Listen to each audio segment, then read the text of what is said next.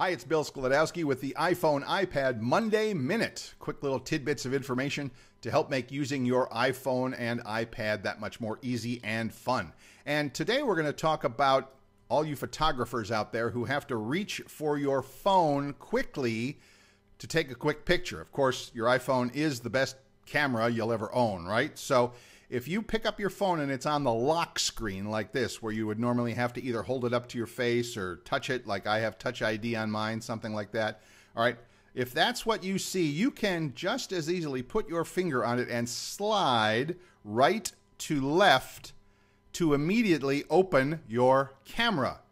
And there he is, our old buddy Wile E. So, again, quickly, if your phone is locked, okay, with the lock screen, you can always just put your finger right on the right side and slide from right to left, and it will automatically open your camera and you can start snapping pictures immediately. There you go.